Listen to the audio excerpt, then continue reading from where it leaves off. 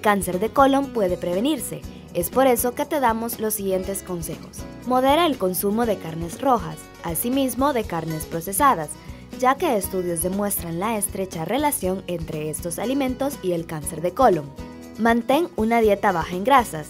Evita las frituras y prefiere alimentos naturales ricos en fibra como frutas y vegetales. Realiza actividad física, de forma que evitas el sobrepeso y la obesidad, factores que te hacen propenso a padecer de esta enfermedad.